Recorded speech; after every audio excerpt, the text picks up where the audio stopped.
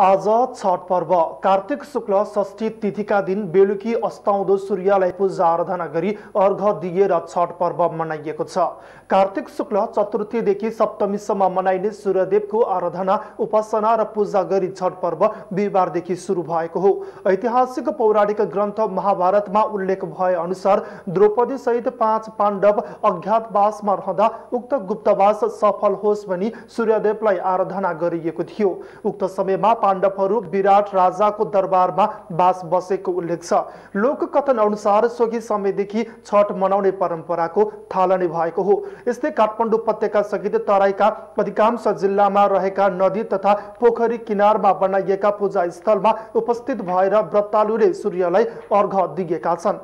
छठ पर्वका लागि विराटनगर इटहरी राजविराज जनकपुर धाम वीरगञ्ज सहितका नदी किनार पोखरी तट लगायतका क्षेत्रमा विशेष सजावट गरिएको छ। छठ पर्वमा व्रत बसे सन्तान सुख प्राप्त हुने तथा दुःख र दरिद्रताबाट मुक्ति पाइन्छ भन्ने जनविश्वास रहिआएको छ।